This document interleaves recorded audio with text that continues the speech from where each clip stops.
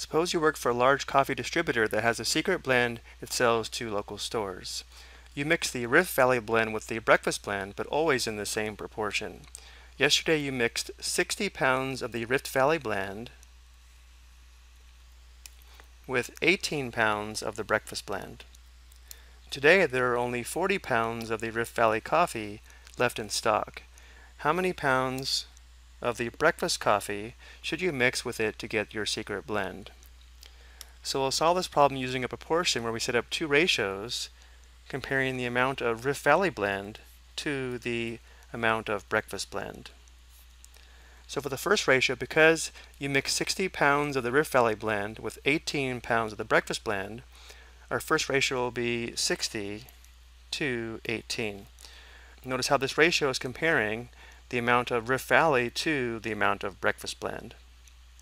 And therefore the second ratio must be set up in the same way.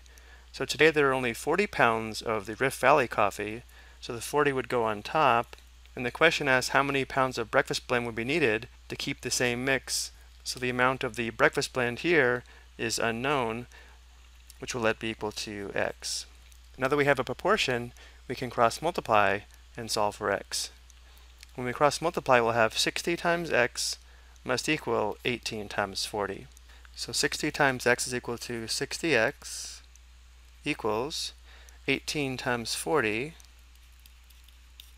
18 times 40 is equal to 720.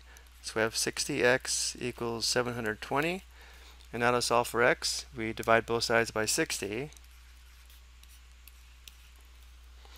Notice on the left side here, 60 divided by 60 simplifies to 1. 1 times x is just x. On the right side we have 720 divided by 60, which is equal to 12.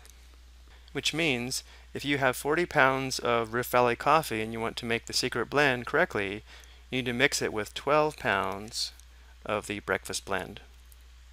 I hope you found this helpful.